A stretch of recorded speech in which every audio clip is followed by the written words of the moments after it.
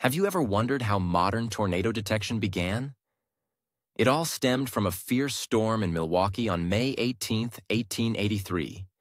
The great Milwaukee hailstorm shrieked in with violent winds, leaving large swaths of the city devastated. Massive hailstones shattered windows, demolished crops, and even injured locals and livestock. As the tempest subsided, the extent of the destruction became apparent, prompting a scientific investigation. What made this storm a landmark event was its catalyst role in pioneering tornado research. Henry Allen Hazen of the U.S. Signal Service, the predecessor to the National Weather Service, was particularly captivated.